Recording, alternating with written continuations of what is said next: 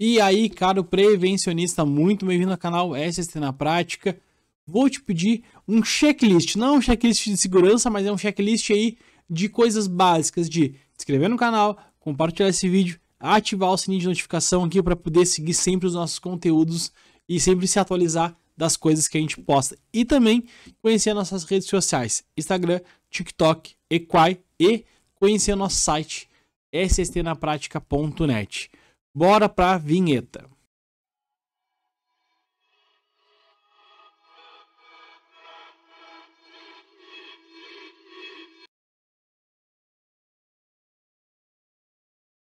Então, promover a segurança no ambiente de trabalho é fundamental para evitar acidentes e para manter o bem-estar dos colaboradores. Nesse processo, é essencial o uso do equipamento de proteção individual, os famosos EPIs.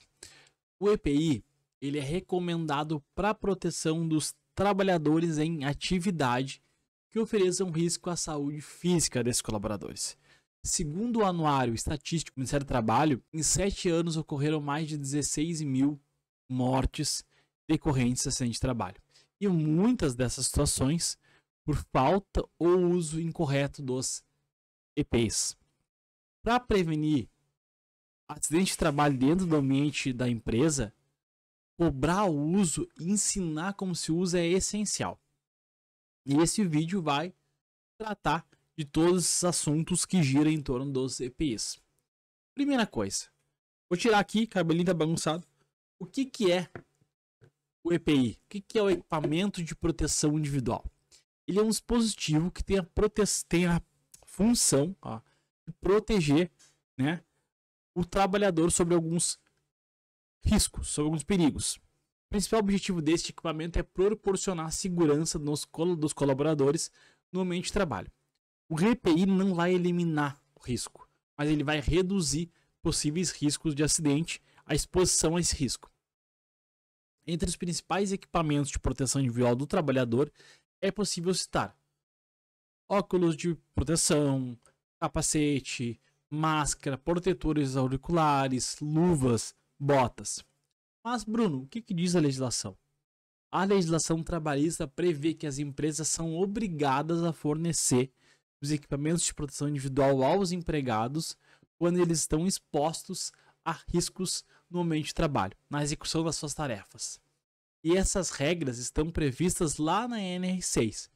Você olhar a NR6 Talvez quando você fazer esse vídeo pode estar atualizado ou não, tá?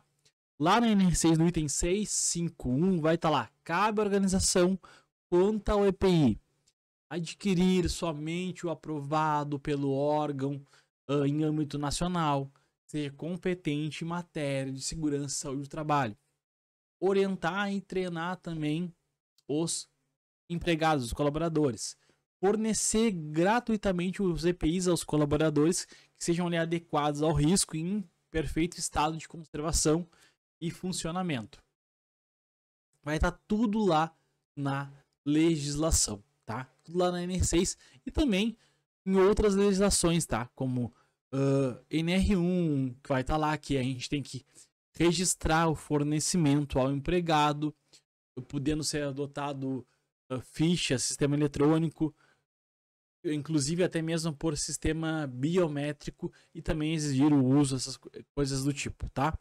E responsabilizar-se pela higienização, manutenção, enfim. Então, tem bastante legislação que cobra a obrigatoriedade do uso, beleza? Agora, quais são os tipos de equipamentos? Os equipamentos de proteção individual são determinados a partir da função do trabalhador e também do risco que ele corre na sua atividade cada equipamento de proteção individual ele vai ter como função prevenir algo específico. Por exemplo, o capacete, tá? Proteção para a cabeça. Ou os protetores auriculares, que é proteção para o ouvido. Ou a máscara, proteção ali para o nariz. A bota, proteção para os pés. A luva, proteção para as mãos. Então, a gente tem que escolher o EPI adequado a cada situação. Mas como que se vai escolher isso? Para escolher o equipamento de proteção individual adequado, a empresa ela precisa analisar os possíveis riscos do ambiente e verificar a necessidade de cada situação, para cada trabalhador que está exposto.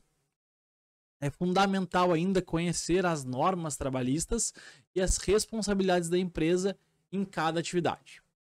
Sendo assim, para escolher o EPI adequado para a empresa, a gente tem que analisar o ambiente de trabalho da empresa, identificar os riscos presentes em cada atividade, classificar os riscos, riscos físicos, riscos ergonômicos, químicos, biológicos, riscos de acidente, conferir as normas, a norma que trata sobre isso, tá? A NR6, que é a norma obrigatória sobre essa questão, avaliar a durabilidade e a qualidade dos EPIs, verificar conforto, ajuste e a personalização de cada equipamento, para que o EPI seja adequado à necessidade de cada funcionário. E também, olha só, consultar as especificações do fabricante de cada equipamento para comparar ali os possíveis benefícios de cada um deles. E aí a gente vai fornecer treinamento para que o colaborador saiba utilizar equipamento de produção individual da maneira mais segura possível e que ele entenda que aquele equipamento é para aquele risco e por aí adiante, tá? Então, é mais ou menos assim que funciona a lógica dos equipamentos de produção individual. O uso do EPI, ele protege ali o não só o trabalhador, mas a empresa também na relação trabalhista, uma vez que a legislação vai exigir que a organização ofereça e entregue e registre. Então, logo ao ofertar os EPIs e exigir o uso, a empresa está em conformidade com as legislações trabalhistas e se precavendo ali até a vez de um processo trabalhista está com tudo resguardado.